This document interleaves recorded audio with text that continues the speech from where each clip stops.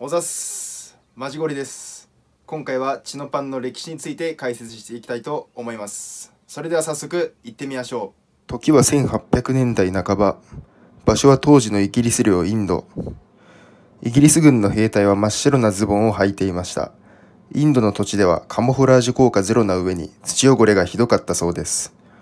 これを見かねたハリー・バーネット・ラムズデンという軍人がズボンをカーキ色に染めたのがカーキ色の軍服の始まりと言われています。何で染めたかというと、桑の実、カレー粉、コーヒーと泥で汚れた川の水で染めたという説があります。これはありかしえぐい染め方ですよね。ちなみにカーキという名前はインドのヒンディー語で土ぼこりを意味する言葉から来ているという説があります。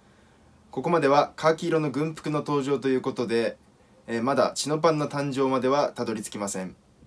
時は経ち1890年代終わり頃スペインやフィリピン軍との戦争の末にフィリピンを手に入れたアメリカフィリピン駐屯アメリカ軍のために中国から綾織物の生地を輸入したのがチノパンで使われているチノクロスという生地の名前の由来と言われています。スペイン語でも中国のものをチーノと呼んでいたのでこれが由来とも言われています。そして1937年にアメリカ陸軍がカーキ色に染め上げたチノクロス生地でズボンを作ったことによってチノパンが誕生しました。はい。でそんなことで誕生したのがこの41カーキになります。で物自体は37年からあったんですけどあのヴィンテージ好きの中ではね41カーキというふうに呼んでます。はいというわけでね、えー、歴史の解説はここまでになります。